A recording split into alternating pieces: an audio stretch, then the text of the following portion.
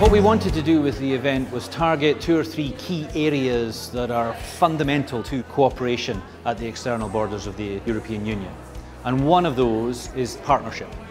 Now partnership exists as a baseline in our projects and in our programs, bringing people together, bringing organisations together.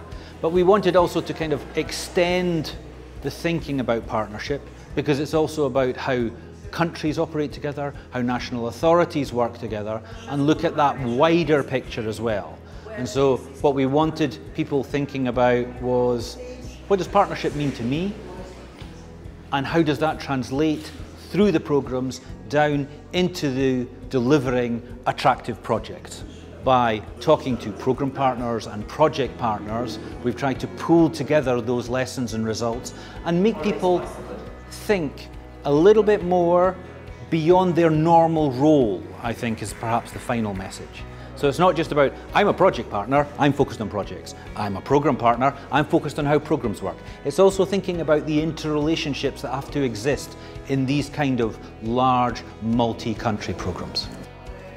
After 14 years of cooperation with the neighborhood countries, we have the possibility now to move one step forward because we have now learned how to manage the programs, we have now learned how to manage the funds.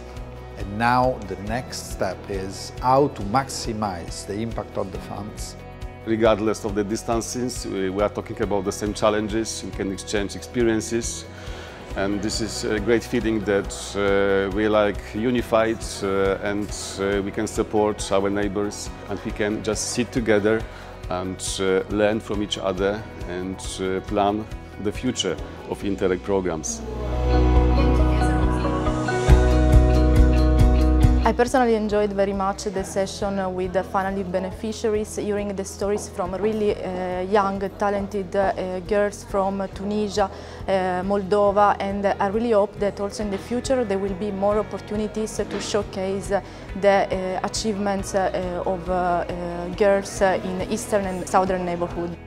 At the end of the day, everything is about the projects, projects implementation, which are focused on the people life improvement standards and conditions. So everything from people to people by people.